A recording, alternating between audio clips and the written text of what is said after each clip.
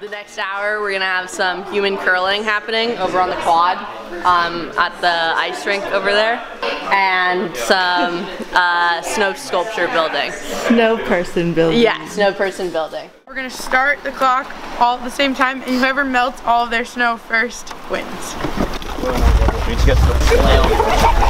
Okay.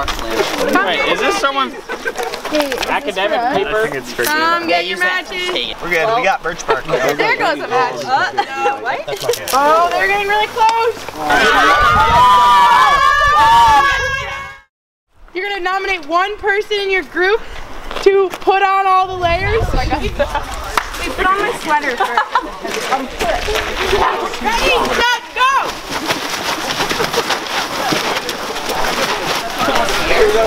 Come on. I don't it's gonna work. I don't think it's gonna work.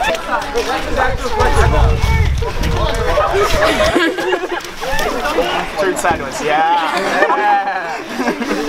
then we have Luke, our man, the densest of the bunch. and then Eileen, the bag.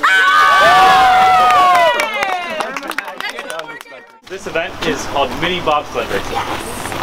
So basically what we have here is a little, a little course dug through the snow. And you guys get to design and then build a little mini bobsled out of this can that you race down this course.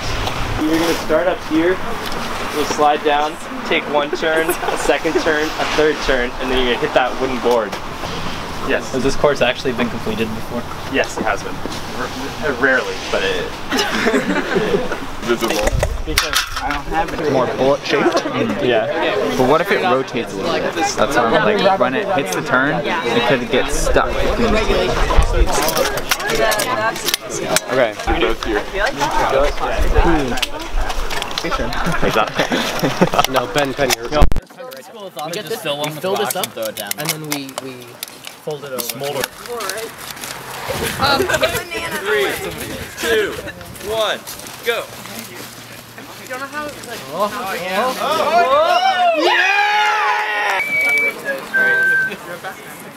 Three, two, one, go.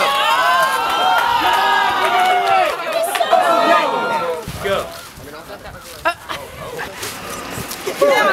Six sixteen.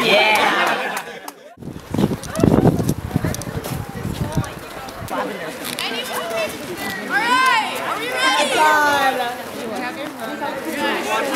すげえ。